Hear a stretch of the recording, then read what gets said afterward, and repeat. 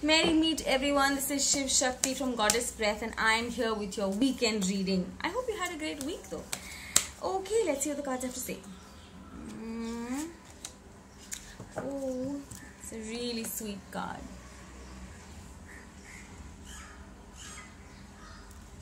It says decide. It's time to clearly make a decision about what you want. Are you dilly dallying with a decision? Are you not sure what you need to do? Are you wondering what the options would be like if you took this decision and then something else came up? Well, that's always going to be the case. There's always going to be more, and there's always going to be us thinking, what if? But the fact is, we need to make a decision. We need to make a small little decision that helps us go forward. The theme for this this weekend to me somehow feels like it's it's revolving around receiving uh, there are most there are most of us who do not uh, do not find it comfortable to receive. A, a decision to receive is also a decision that we really consciously need to work towards. I don't know why but i constantly keep getting the feeling of receiving in this card. We are not deciding to receive. That's the problem and I think that if we do decide to receive, it's going to be easier for us to sort everything out, to go forward with whatever needs to be done, and to get the help that we need to get. This is one of the most difficult decisions that that we can take. You know, but you might say, "Oh, but I'm just deciding whether I should, uh, you know, make my relationship serious or not." Or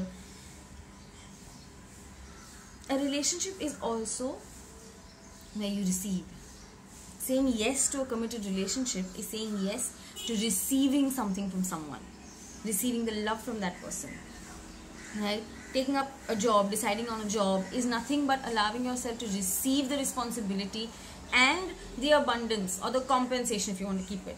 You know to to to value to value what it is. The idea is if we don't receive people are not going to receive from us because it's not just us, there's a lot of people out there who feel like that. And when two people who do not want to receive meet each other, it collides. Things collide. Because one wants to give, because one is thinking giving is right, but receiving is wrong. And there's another one who thinks giving is right and receiving is wrong. So this one's giving and this one's not taking, and this one's giving and this one's not taking. So the whole idea is receiving is as important as giving. Please make sure that you decide, you take the decision. You take the decision to receive just now. To receive from the universe, to receive the abundance that's coming your way, to receive everything that's coming your way. Because if you do not receive, you will not be able to give. And right now, we should be in receptive mode because the energy changes that are happening. It has been an absolutely crazy week. It has been a week full of energies coming into our lives, just making it go crazy. People are feeling hungrier, people are not sleeping well, people are getting massive headaches and migraines. Know and you know uh, the dreams are going haywire. What is all this? This is nothing but receiving.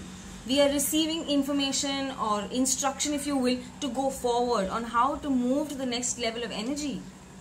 And if we don't receive it's wasted. So think about it. What is it that that you get in your mind or in your heart when you have to receive? How do you understand receiving?